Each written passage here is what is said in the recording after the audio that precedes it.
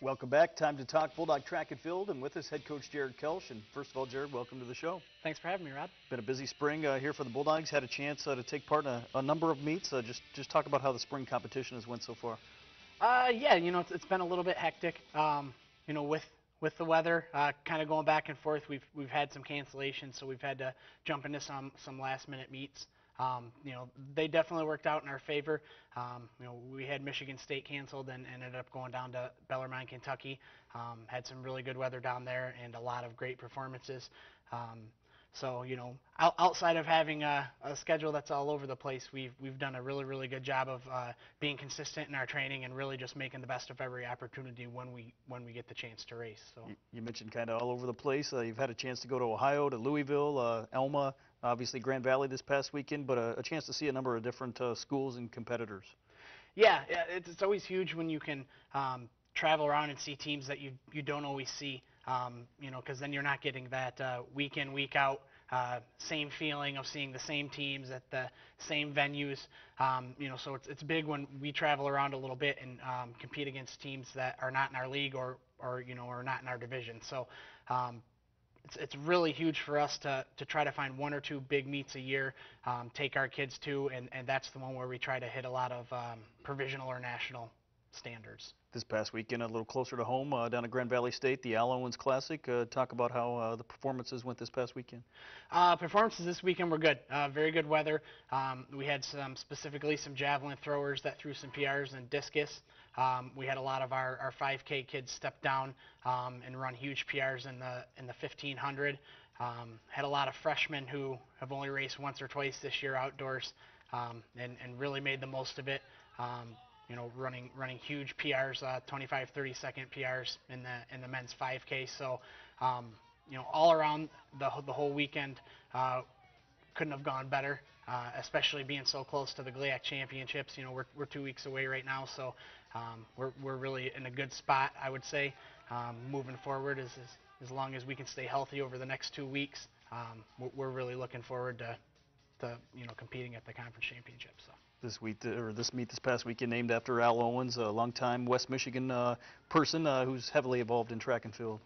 Yeah, Al's a great guy. Uh, he's been starting races in the in the you know Midwest for I, I would say uh, more, probably more than 25, 30 years. So um, you know he's he's a guy that's uh, always there to help you out if if, if you need him, and uh, you know and kind of has had a big impact on our kids. Our kids get to know him because we do see him on a you know, a weekly basis, no matter where we go, because he travels around. He's retired, um, so to speak, but uh, does travel around the Midwest to to be a starter, and uh, you know, is, is very popular and, and, friendly, and our our athletes uh, really like him, and uh, just just a great overall guy.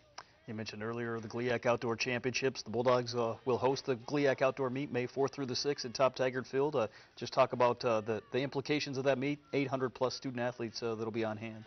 Uh, yeah, huge event. Um, you know, having that many student athletes in, in our town. Uh, you know, just as, as far as the impact on our on Big Rapids with the restaurants and um, you know the the hotels and um, you know just being able to accommodate that many people plus spectators is uh, is going to be big for Big Rapids. Um, you know, we have a brand new uh, outdoor track, so um, we're very excited to host. We haven't hosted since 2010, um, and and you know it kind of gives us a, a, leg up, so to speak, for our kids.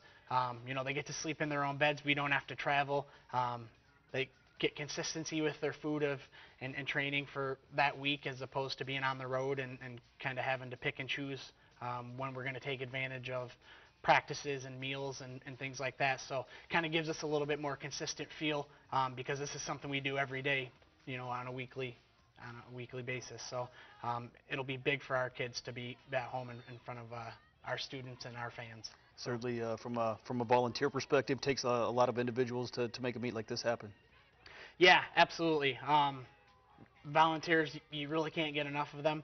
Um, it, it's really better to have too many than than not enough. Um, you know, just having so many events that we participate in, um, you know, as a general rule, every every event you need three or four volunteers. So um, when you look at it that way, plus all the behind-the-scenes stuff of, um, you know, things going on in the press box and, and uh, hurdle crews and, um, you know, ticket sales and, and things like that, um, volunteers are huge in, in making this event uh, work.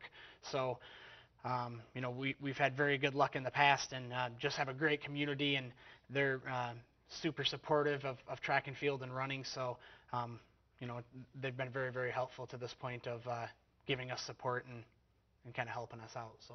I know before uh, the GLIAC Championships, uh, you've got one more weekend of action uh, here coming up. Uh, talk about uh, well, what's ahead uh, here for the Bulldogs as you get ready to train for that GLIAC uh, Championships. Uh, yeah, this week we're we're going to go down to Hillsdale. Um, that's a very competitive meet. That's uh, another one of our big ones where we like to try to get some good performances in before the GLIAC Championships to, to get us into better heats. So um, they've had a, a good track um, record of, um, you know, hosting a huge meet that brings in uh, everybody from Olympic caliber performers to you know NAIA Division three. So um, it really does kind of cover the spectrum, and it gives all of our kids an opportunity to to be competitive, no matter whether they're all Americans or they're first year runners. Um, you know, it they just have such a wide range of of competition there that. Um, it, and it's such a big meet that all of our kids are, are able to compete and, and be competitive no matter where they're at on, on the competitiveness scale. I know, obviously, uh, have a lot of young, a lot of young kids. Uh, talk about the transition from the indoor season to the outdoor season and, and how they've handled that. Uh, yeah, having a lot of, of younger kids is um, is always fun because there is that transition of okay now instead of doing the two mile that you might do in high school, especially if they're distance runners, um, you're up to a 10k. Uh, so you know running four more miles and, and training for that, that your weekly mileage uh, changes, your diet changes. Um, you know, same thing with the throws. It's a uh, it's a different weight implement that you throw. Um, so that takes some getting used to. Uh, you have to spend more time in the weight room. Um, but our kids have done a fantastic job of um, really just kind of buying in and, and knowing this is what we need to do in order to be successful. Um, you know, we kind of use in, indoors as a springboard to, to outdoors, and we really look to be competitive outdoors and try to go to some bigger meets. So, um, like I said, our, our kids have taken advantage of every opportunity we've we've given them this year um, to compete and, and to run PR. So we've we've had a very successful season this far, and I'm really looking forward to the next two weeks. Finally, uh, talk about some of those goals for the next two weeks as you, as you get ready to, to wrap up uh, this, the spring season. Uh, yeah, you know, team goals. Um, certainly, with being in uh, this competitive of a conference, um, we we want to go out there and compete. We'd like to make finals. Um, have our kids in you know everything from sprints to throws, distance events, uh, make finals. Um, everything from the 1500 meters on down has a prelim.